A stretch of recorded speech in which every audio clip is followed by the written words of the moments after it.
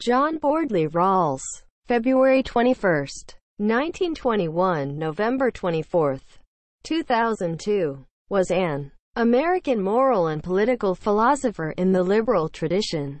He held the James Bryant Conant University Professorship at Harvard University and the Fulbright Fellowship at the University of Oxford.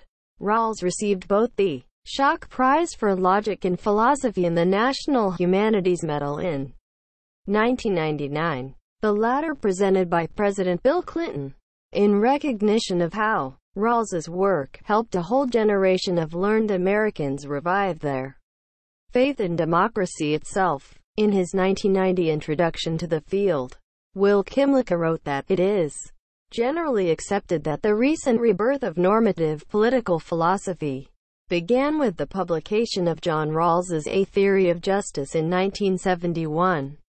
Rawls has often been described as the most important political philosopher of the 20th century. He has the unusual distinction among contemporary political philosophers of being frequently cited by the courts of law in the United States and Canada and referred to by practicing politicians in the United States and the United Kingdom. Monsieur Rawls's theory of justice is fairness, recommends equal basic rights equality of opportunity, and promoting the interests of the least advantaged members of society. Rawls's argument for these principles of social justice uses a thought experiment called the original position, in which people select what kind of society they would choose to live under if they did not know which social position they would personally occupy.